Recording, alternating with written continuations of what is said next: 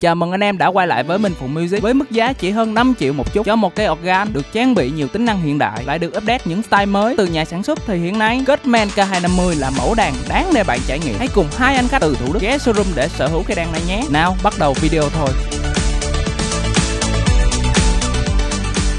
Đầu tiên, nhân viên sẽ lấy đàn và khui thùng K250. Toàn bộ organ được bọc xốp ở hai bên đầu đàn để bảo vệ loa và ni lông phủ toàn bộ thân đàn tránh ẩm ướt gió thời tiết và bụi bẩn rơi vào phía đàn được tháo ra khỏi xốp. Và đây là toàn bộ phụ kiện của đàn với phiếu bảo hành lên đến 24 tháng dành cho K250. Còn có cả giá để sách, sách hướng dẫn và nguồn. mở anh em ngắm nhìn vẻ đẹp hiện đại trên K250 sau khi bóc siêu nhé. Nguồn đàn đã được cắm vào và giờ đây hãy theo dõi anh khách ép đàn nhé anh em. Anh xoay nóp để thử điệu và tiếng. Đây là lúc thử âm thanh phím và độ cảm ứng lực nhấn trên phím đàn. Tiếp đến anh thử các chức năng trên đàn. Sau khi trải nghiệm thì hãy khám phá những nâng cấp hoàn hảo trên K250 cùng khách nhé các bạn. Đàn 61 phím, 5 cấp độ cảm ứng lực nhấn, màn hình LCD, thư viện âm thanh khổng lồ lên đến 653 tiếng, 240 điệu, 28 hợp âm và 128 âm polyphony cho bạn tự do sáng tạo các thể loại nhạc. K250 còn hỗ trợ nhiều tính năng cơ bản như là metronome đếm nhịp, lý chỉ bàn phím, dual trộn tiếng, record, thu âm lại bài nhạc, transpo tăng giảm tông, big band cho người chơi có thể luyến lấy bài nhạc dân ca, bolero và cả nhạc hoa. Với sự đa dạng về chức năng K250 còn được trang bị các cổng kết nối USB truyền nhận dữ liệu âm thanh kỹ thuật số, micro, phones và jack cắm pedal. đang còn được Minh Phụ Music update những điểm mới thường xuyên